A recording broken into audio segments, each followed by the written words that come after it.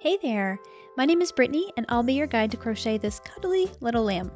Now, this project works up fairly quick, but to keep it as detailed as possible, the tutorial is broken down into three separate videos. First things first, head over to bhooked.com slash lamb to find the free pattern, and then have a look in the video description for your list of supplies. In video 1, we will crochet the head and ears. In video 2, we will crochet the limbs and tail, and in video 3, we will crochet the body and assemble our lamb. You will find a link to each video in the description as well. So let's get to it, shall we?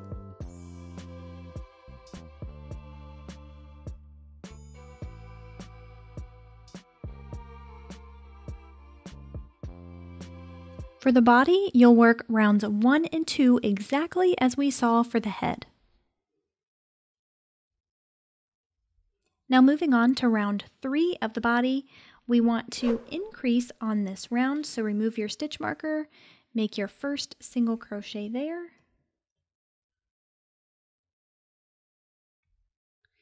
And for this round, we'll increase every other stitch. So this one single crochet counts as our first stitch.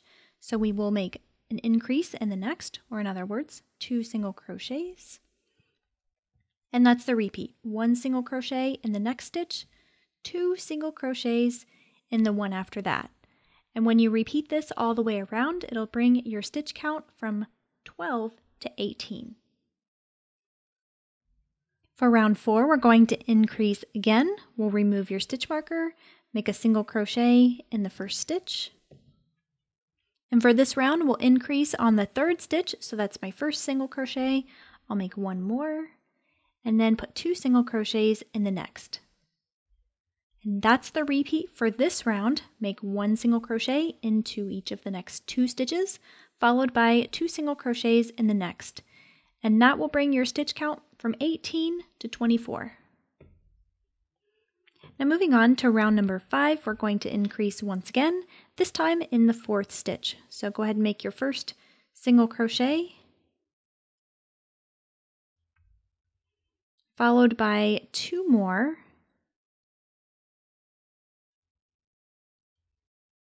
and then we'll increase. Make two single crochets in that next stitch. Now that's the repeat for this round. We'll make one single crochet into each of the next three stitches, followed by a single crochet increase in the next, or in other words, two single crochets. When you do that, it'll increase your stitch count from 24 to 30. Now for round six, we'll increase once again. Remove your stitch marker, make your first stitch. This time we'll make four single crochets in between our increases. So that's the first one. I'll make three more.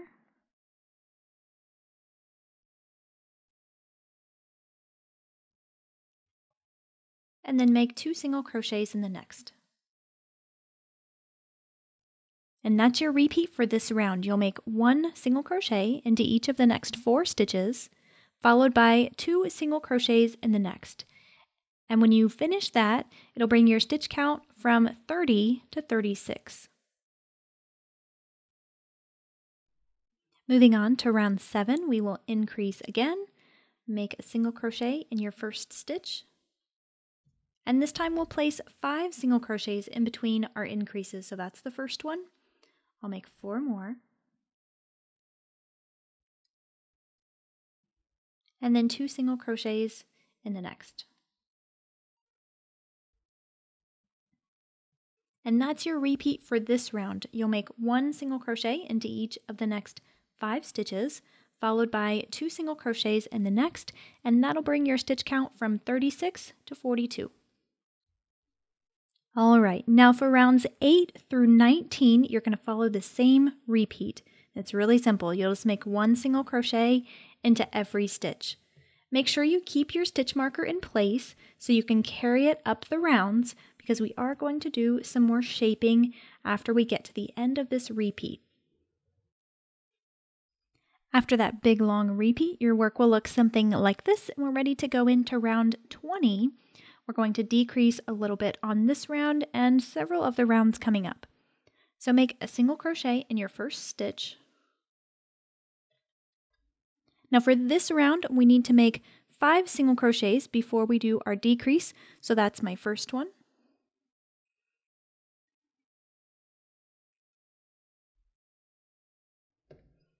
And we'll single crochet two together. I'm catching both loops. You can do either decrease, honestly, whatever you prefer. For this one, we're just decreasing every now and then, so I'm not too worried about there being a gap or seeing any space in between. So that's the repeat. We'll make one single crochet into each of the next five stitches, followed by a single crochet, two together, and that will bring your stitch count from 42 to 36. Moving on to round 21, our repeat here is really simple. Just make one single crochet into every stitch. Moving on to round 22, we will decrease once again. This time we'll make four single crochets in between our decreases. So make the first one of the round, followed by three more. And then single crochet decrease. Now here again, I'm not concerned with any gaps or anything, so I'm going under both loops of that stitch. I'll transition to that invisible single crochet two together once I get to the point where it's just a little bit tighter and we do have to worry about those gaps. So now our repeat for this round is to make one single crochet into each of the next four stitches, followed by a single crochet two together. Doing so will bring your stitch count from 36 to 30. All right, moving on to round 23, we will make one single crochet into every stitch for the entire round, so no decreasing here. Now for round 24, we're going to decrease once again. This time we'll make three single crochets in between our single crochet two together. And this time I will use that invisible single crochet decrease, so again, just catch that front loop only. If you choose to do this method, it'll help cut down on some of the gaps that you see as we decrease. And that's the repeat. You'll make one single crochet into each of the next three stitches, followed by a single crochet two together. At the end of this round, you will have a total of 24 stitches. Now, for rounds 25 and 26, we'll follow the same repeat, and that's simple. Just make one single crochet into every stitch. Now for round 27, we're going to decrease once again. We just have a few more rounds to go, by the way. This time, we'll make two single crochets before we do our decreases. So make your first and your second single crochet, followed by a single crochet two together. I'm doing the invisible version where I'm just working in that front loop. And that's your repeat. Make one single crochet into each of the next two stitches, followed by a single crochet two together. This will bring your stitch count from 24 to 18. Now our final two rounds, 28 and 29, all we need to do is make one single crochet into every stitch. When you're finished with that, remove your stitch marker and make a slip stitch into that next stitch. We're just correcting a jog here. And then we can fasten off. Now leave yourself at least a 15 inch tail. We're going to use this tail to sew the head in place and you want to make sure you have enough to do that. Pull that tail through the loop on your hook and you're ready to stuff.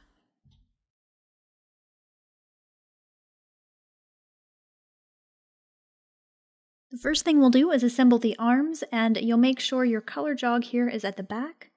When you sew it into place, we're going to sew it directly onto the body.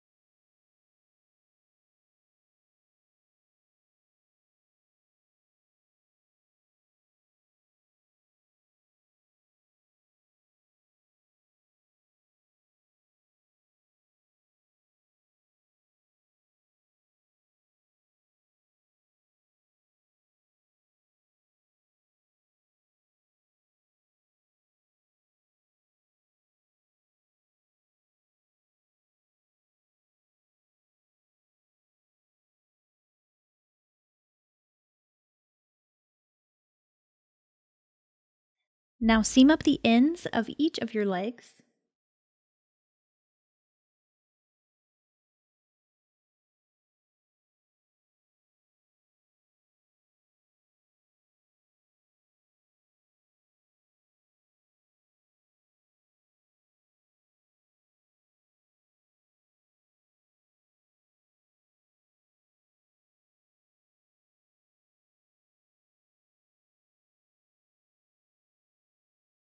Now take a cut of yarn, thread it on your darning needle, and run it through your button. We're just really going to sew the button on first, and then we'll actually sew the leg in place so that it swivels or it moves when you stand it up and sit it down.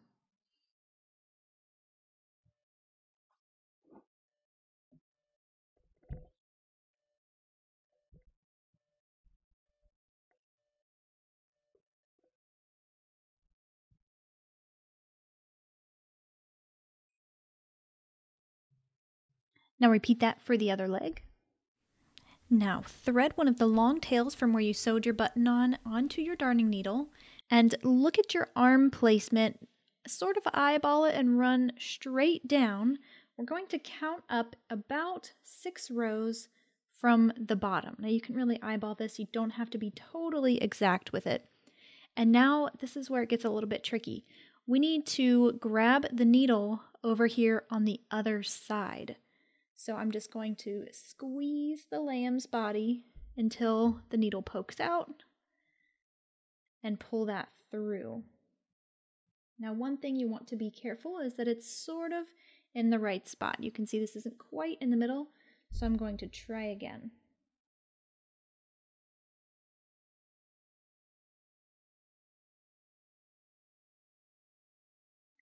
And when you're happy with that placement, pull it through that should pull the one leg right up next to the body.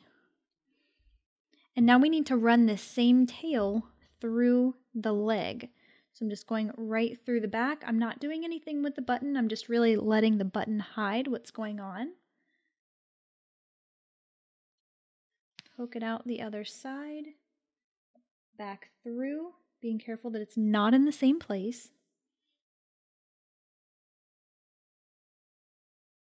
And now we'll run it back through the body to the other side.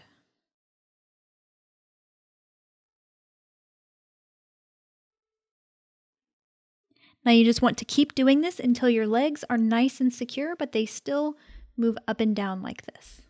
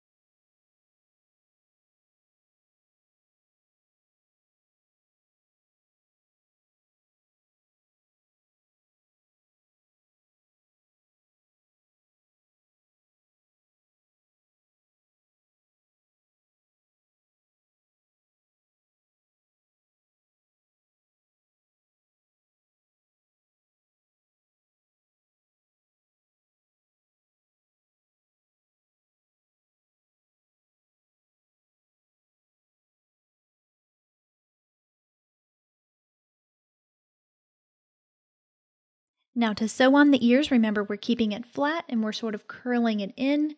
And we'll count up about five rows from the eyes and go down about three stitches. That's where we're going to sew it into place.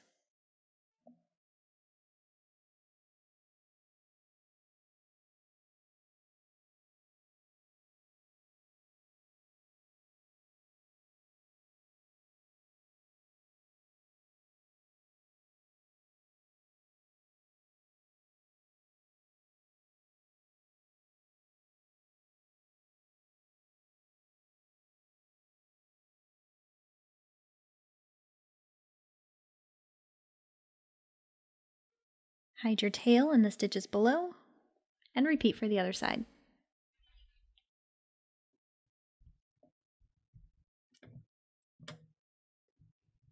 Now use the body tail to sew your head in place.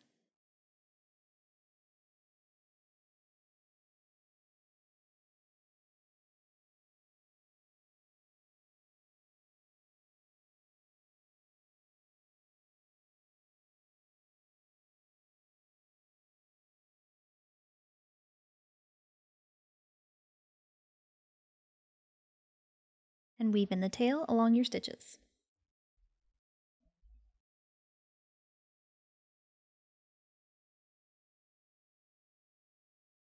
Now the last thing we need to do is sew the tail in place.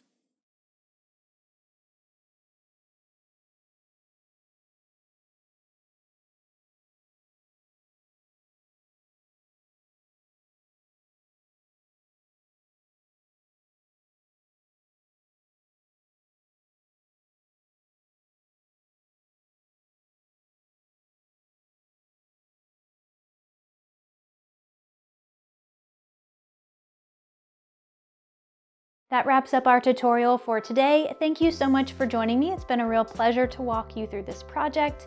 I hope you'll share your photos with me on social. You can find me on Instagram at B.Hooked, or you can post a photo directly to my Facebook page at B.Hooked Crochet.